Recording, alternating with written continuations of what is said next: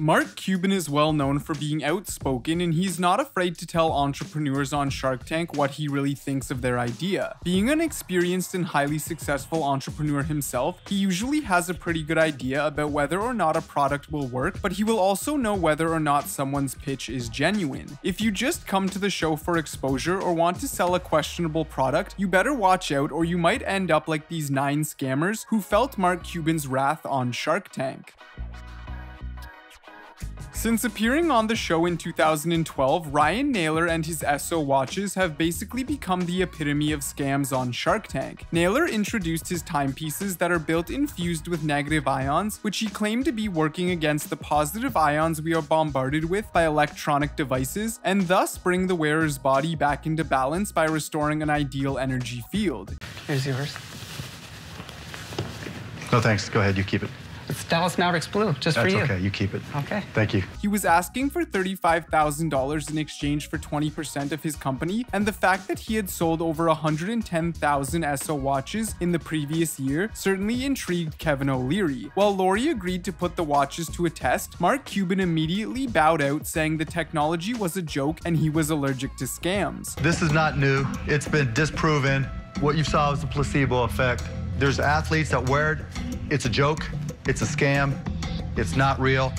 I'm out. The other sharks became more and more skeptical too, as Naylor didn't have any tests or data backing the technology up, and Daymond then accused him of stealing the design of his timepieces from another company. Eventually, Kevin O'Leary said he would consider investing if Naylor admitted that the negative ion technology was a scam, but the entrepreneur wouldn't do it. How about this? If you admit it's a scam, maybe I'll invest. Is it a scam? I don't, I don't believe it is. affirming his belief in the technology and going home without a deal in the end. In season 4, Bill Leons pitched his idea of a website called Revestor, a real estate search engine of the future. He was looking for $250,000 in exchange for 10% equity in his company. Leons claimed to have created an algorithm that would help people invest in real estate as it allows you to see a house's value in the future. When Leon said customers would pay $99.99 per month to have access to the website, Mark Cuban outright stated he hated the business and was out. You'll give me a little bit of help with your algorithms. Right, you're not using an archaic spreadsheet. I'm going to pay you $99 a month for access to that. Right. I hate that business. I'm out.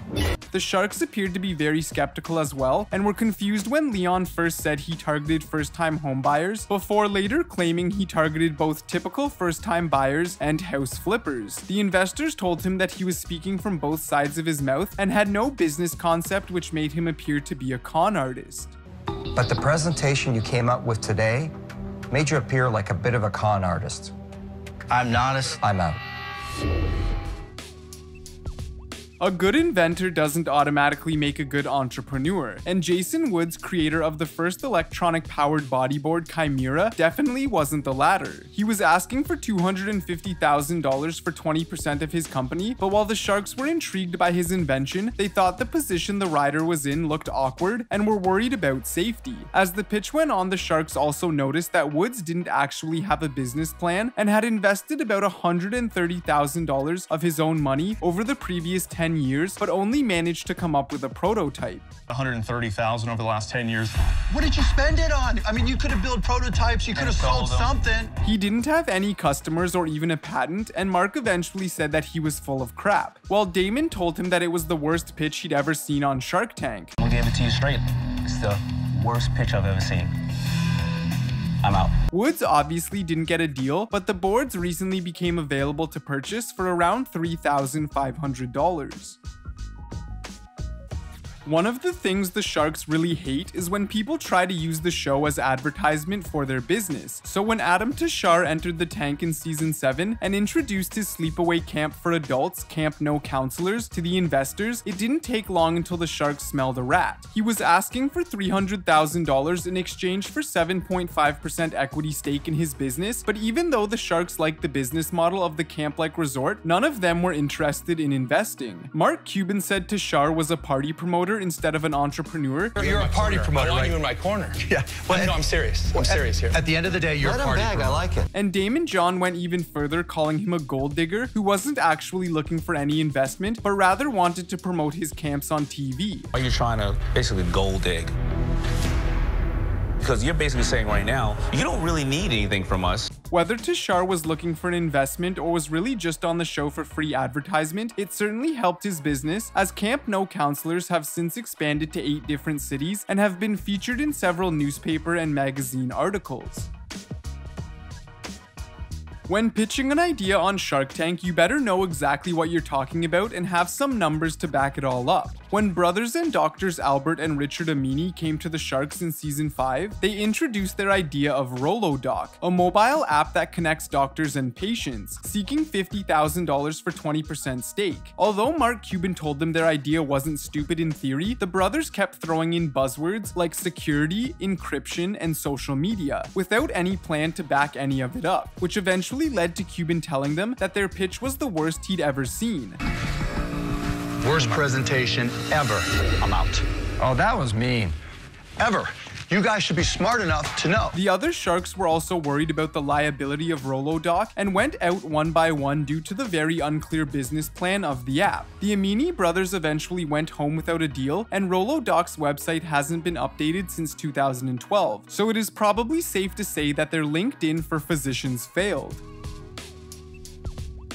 In season 6, Aaron McDaniel, founder and CEO of Tycoon Real Estate, not only failed to get a deal, but also didn't make any friends. McDaniel pitched his real estate crowdfunding service as a way for average people to invest in real estate, but while he was convinced it would change the real estate game forever, he completely failed to convince the Sharks that it was a safe model, with Mark Cuban quickly yelling that he hated the idea because it was scammy, Tycoon Real Estate is a crowd investing platform that allows everyday people to invest in real estate for as little as $1,000. I hate it. I'm out.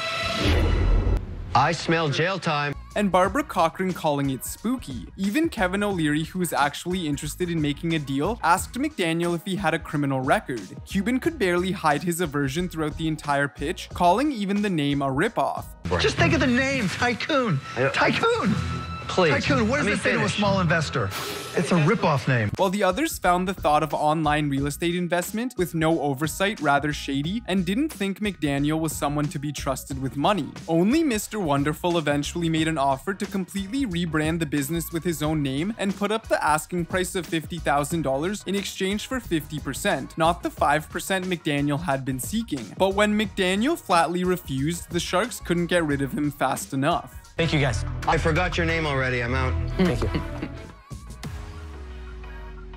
After noticing that society has a serious problem where people are constantly focused on their phones rather than on each other, Van Gould and Chris Sheldon came up with the No Phone, a gag gift to satirize people obsessed with their smartphones. The No Phone has no screen, no battery, no apps, and no features at all. Although the No Phone with the selfie upgrade does come with a mirror. The two were looking for $25,000 for 15% in their company and had already managed to raise $18,000 from a Kickstarter campaign before pitching their idea on the show. Unfortunately, the Sharks didn't like the dumb idea and found it useless to invest in. There's only one thing I hate more than people staring at their phones, and that's dumb patents. After Mark and Lori had dropped out, Robert told Gould and Sheldon that he was impressed they had managed to sell 3,100 units in a few months, but worried that that was the whole market and therefore went out as well. With three sharks out, Daymond said he would feel stupid investing in No Phone, and Kevin then blasted Gould's and Sheldon's last hopes by calling their idea poo poo. Listen, the pet rock was a piece of poo-poo too. This is poo-poo. In the season 7 finale, Maneesh Sethi entered the Shark Tank to introduce Pavlok, a watch-like device that allows you to shock yourself in order to try and break bad habits. Although he gave a smart presentation, the Sharks weren't buying it, with Mark calling it a scam and Barbara saying that she had found his presentation exhausting and complicated. Since Sethi was asking for $500,000 in exchange for just 3.14% in his company, Kevin wondered how he had got to the insane company evaluation of nearly $16 million. However, the main problem was the fact that Sethi had no proof or clinical trial data that the product actually worked and just kept citing studies done by others that talked about the benefits of aversion therapy. Robert also wondered why Sethi assumed that he would have the discipline to shock himself when he didn't have the discipline to stop biting his nails, but when Sethi tried to answer his question, Mark interrupted by yelling that it was all nonsense. So can I? Okay, so here's but the, your premise is it's, that I it's have enough nonsense, discipline. Robert. It's all nonsense across the board. Just, I'm, I, I, And when the inventor then said that the device doesn't work if you don't want it to work, Cuban got really agitated and called him a con artist. After about three or four days on like a cookie or t- tortilla chips, you'll start to notice the flavor changes. The You start to notice the flavor changes. Yeah, you You're do. such a, a, a con artist. Kevin was the only one who expressed interest and made a pretty generous offer. For 3.14% equity, he was willing to give Sethi the $500,000 at a loan at 7.5% interest for 24 months. To everyone's surprise, Sethi decided to turn it down, saying he would accept an offer from any of the sharks except Kevin. I would take an offer from anybody besides Mr. Wonderful. A series of expletives followed, and the sharks quickly kicked Sethi out of the tank, calling him a gold digger who had just been looking for TV exposure. Maneesh, you're a get the out of here. Oh!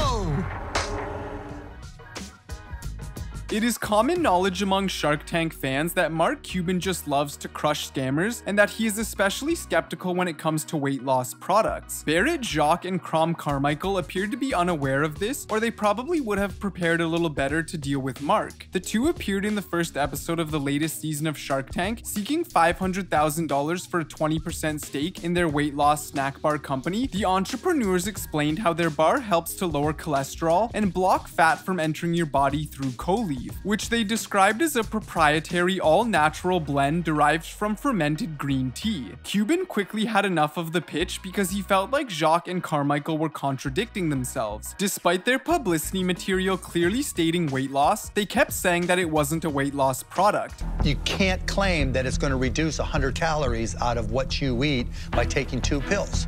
Uh, we don't make that claim. That's what he said. And as Mark's questions got more aggressive, the other sharks started to get more and more annoyed, eventually all dropping out. While Shark Tank can be a good platform to get your product out there, it turned out to be a disaster for Miniscal. Neither one of us said we would lose weight. Look at your shirt. What What does your shirt say? It says fewer calories, Mark. Right, how do you If lose eat- weight? As they not only went home without a deal, but also had to listen to Mark Cuban telling the audience not to buy the snack bars because he believed it to be a scam. To everybody who's watching, don't buy it. I'm out. Okay. Thank you for checking this video out, and don't forget to smash that like button and also subscribe for new videos every day. Turn that bell notification on and comment down below that you subscribed, and we'll make sure to reply and thank as many of you as we possibly can. Once again, thank you for watching and see you next time.